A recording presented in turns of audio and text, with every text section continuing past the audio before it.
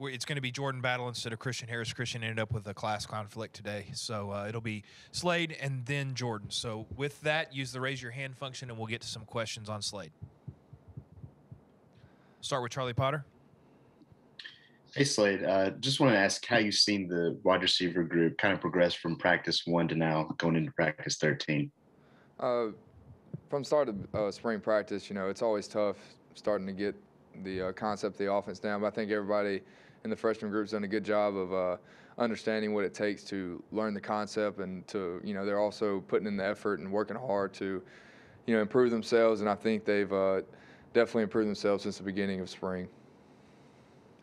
We'll go to Michael Casagrande. Michael, go ahead. Yeah. When fans see you on 8A on Saturday, what, what are they going to notice about this offense? What are they going to take away, do you think, from from seeing the way this uh, this offense uh, plays opposed to last year's?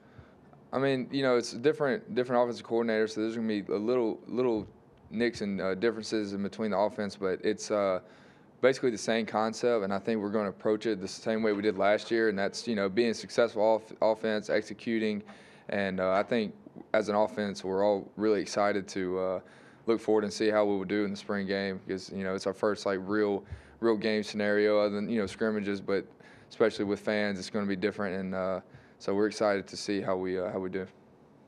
We'll go back to Charlie. It's like you mentioned the, the freshmen, just you as an older guy in that room, have you tried to help them along in what has been their first college practices? I think the biggest thing that I've uh, tried to help with them is just kind of relating to them when it came to because I've you know I've been in their shoes. I understand how it is. You know when you know I try to tell them not to get frustrated and that they're going to make mistakes, they're going to mess up, and that the biggest thing is just to continue to work and you know every day like if you if you don't know what you're doing, you know just at least go fast. You know and like I think at the end of the day, if you continue to push and practice and you, you go you go hard in practice, that eventually you'll understand that when you have the play, when you know the play right, you'll already know that how to go fast with the play. You know, knowing the play, the right play, and uh, you know sometimes when you don't know what to do, like you don't think mentally that I should go hard right now. So that's kind of one thing that I've tried to help them with is just uh, understanding that it, you're going to make mistakes. It's going to happen, but ultimate goal is just to play fast. Go to Tony Tsoukalas. Like kind of along those lines, what do you remember from your first A day, and how, how can you kind of maybe pass that along uh, that experience to some of the younger guys? Well, you know, my first A day was you know gonna be a little different from these guys uh, since I was on the other side of the ball playing safety, but at the end of the day, it's it's it's the same thing. It, you know, the, it's a little easier because and when you, we practice so hard and we practice like a game like scenario that it makes the games a little easier. So I can tell them like just go out there, play confident, play fast, and at the end of the day, you will get the results you want. We'll go back to Michael. Yes, Slade, do you have any thoughts on the new uh, the new elephant statue out in front of the stadium? I, I saw that. I, I, saw a picture of it. and I, I, I thought it was really cool. Um, uh, hopefully, no one you know tries to uh, mess with it and you know spray paint or climb on it or do something dumb like that. But um, uh, I thought it was really cool though. Okay, we'll go to Charlie Potter. Uh, this is a little off topic, but it's been one year since you guys uh, brought in Coach Ballou and Dr. Rhea. Just what's it been like now that you have a year under your belt with them, working with them, and, and learning from them from a strength and conditioning standpoint?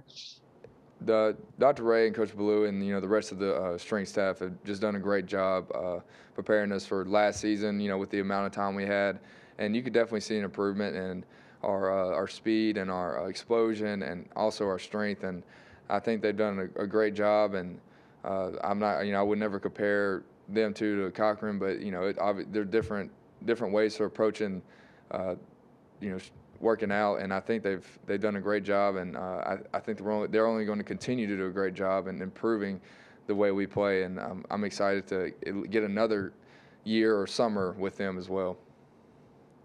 A couple more here with Slade. We'll go to AP. Hey,